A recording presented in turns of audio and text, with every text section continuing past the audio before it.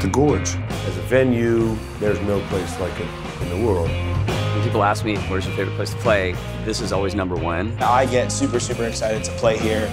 Ray Charles, he said, this is one of the greatest places I've ever played. Labor Day weekend, that's an incredible accomplishment. That place changed my life.